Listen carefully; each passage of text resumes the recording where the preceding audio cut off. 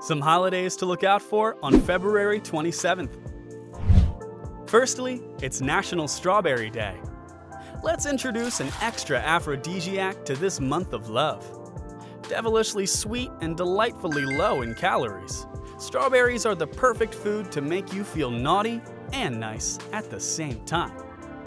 February 27th is also International Polar Bear Day.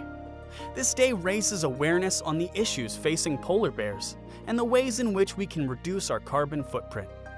Climate change is a huge threat to polar bears' existence, and it's up to us to take action and protect their future. Finally, it's National Protein Day. Our bodies crave protein. It's a vital macronutrient. Protein plays a crucial role in developing bones, skin, cartilage, and blood while promoting weight loss and increased muscle mass. It's a key factor in helping us stay fit throughout all the stages of life. Thanks for watching. Check out other dates to discover more holidays that are on the horizon.